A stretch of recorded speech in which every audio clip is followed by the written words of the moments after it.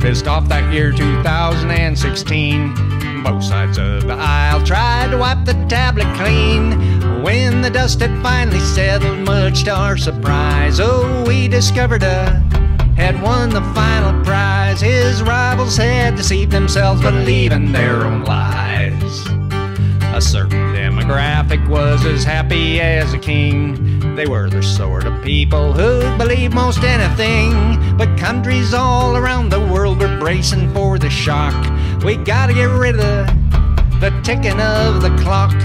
The urgency is paramount, just listen to him talk.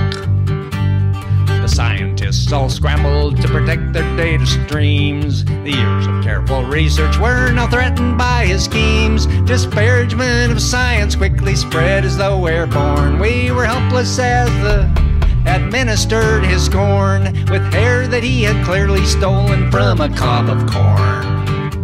The lower and the middle class were soon to take the brunt and his cronies all went on a treasure hunt. They funneled the resources to the wealthiest of men. A failure from before is now occurring once again. The saw the nation as his personal playpen.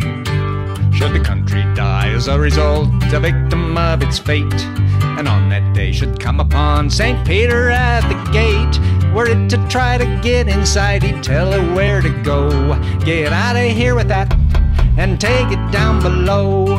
What do you think we're running here? A second rate game show. The moral of the story is if voters choose a snake, refusing to acknowledge that he's nothing but a fake, you'll need to get him out of there with his entire zoo, or you'll never get rid of the. No matter what you do, no, you'll never get rid of the.